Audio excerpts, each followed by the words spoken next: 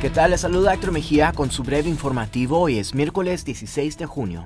Intentan traer de nuevo Huntridge Circle Park a Las Vegas luego de un cierre de más de tres años.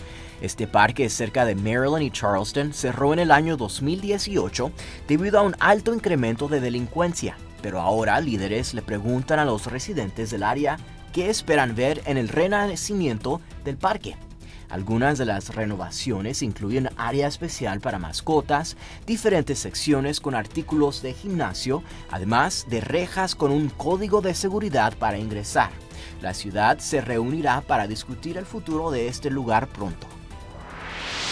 Y las organizaciones Babies Bounty y Project Maryland están ofreciendo un reparto de pañales y suministros de higiene femenina para las familias del valle. Este evento será de 9 de la mañana hasta el mediodía en Baby's Bounty, ubicado cerca de Desert Inn y Valley View Boulevard.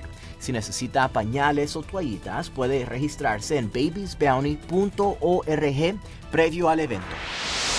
Y aquí están algunas clínicas de vacunación contra el coronavirus alrededor del valle para esta semana. Habrá una hoy dentro de la estación de bomberos ubicada cerca de Durango y Charleston, Mañana será en el Parque Gary Reese Freedom. El sábado por la tarde habrá una en el Centro de Jubilados Doolittle. Las vacunas serán dadas por orden de llegada, no se necesita hacer una cita. Y ahora nos vamos al pronóstico del tiempo. Seguiremos con estas temperaturas altas, alcanzando los 115 grados para hoy. Habrá un cielo nublado para la noche que se extenderá hasta el jueves el calor no se irá a ningún lado ya que para este fin de semana, el Día del Padre, la temperatura estará en una máxima de 112 grados. Tenga un bonito día, yo soy Héctor Mejía y este fue su breve informativo de 8 News Now en español.